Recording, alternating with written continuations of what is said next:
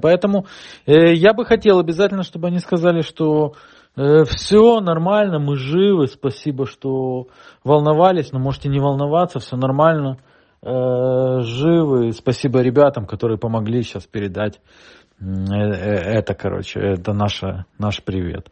Все, ждите нас, мы вернемся, там все такое. Ну, по-человечески нормально. Там привет Саше, привет Ви- Вике, привет Пете. Передаю привіт мамі і паті. Тато і дівчині. Привіт мамі, паті і брату.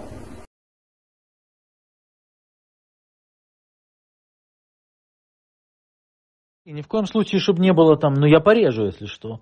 Ну, если мама, с мамой все нормально, я уверен, все хорошо, все отлично, пускай свяжется с нами, пожалуйста, пусть напишет.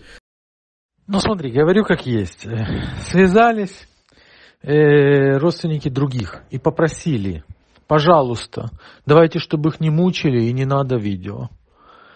Даже несмотря на то, что я обрезал. Ты понял? Это просто пиздец, конечно.